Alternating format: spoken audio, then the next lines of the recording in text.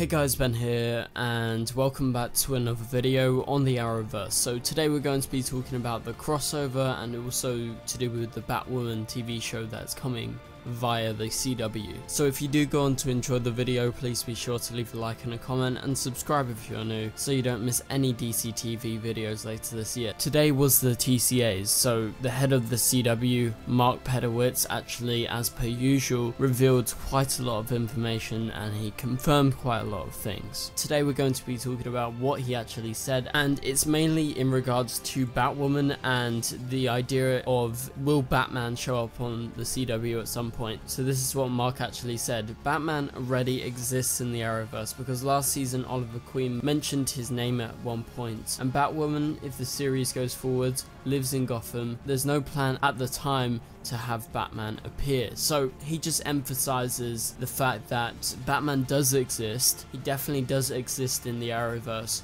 but there are no plans for him to actually physically appear on any of the shows at this point because obviously they're held down by Warner Brothers because they're trying to do big things with him in the films, right? So that's totally understandable. That doesn't come as a big shock to anyone, I'm pretty sure by this point, that Batman won't appear. But there's definitely going to be references in the Batwoman show and when Batwoman comes into the crossover.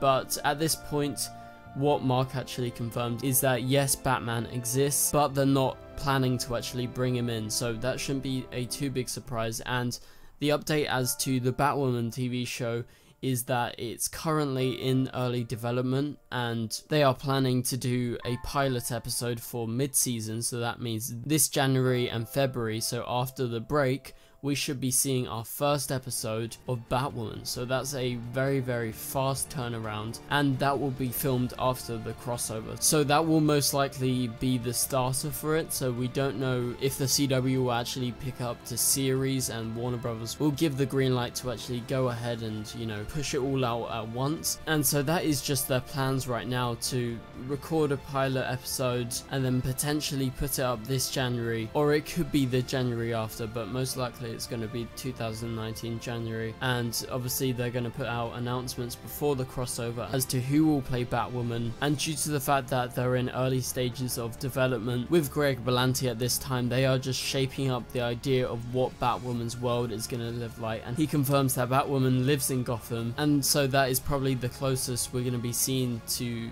get anywhere close to Batman actually appearing and maybe they do the Supergirl thing, what they did with Superman, where they only show him in a blurred off-screen fashion, due to the fact that they weren't properly allowed to use Superman in Season 1, but you know, later down the line they were, so there's still hope in the future that Batman may appear at some point in the Batwoman show or any of the other CW shows. So that is about it for this video guys. Hopefully this helped you out and hopefully you enjoyed the video and anyway guys I will see you guys later. Goodbye.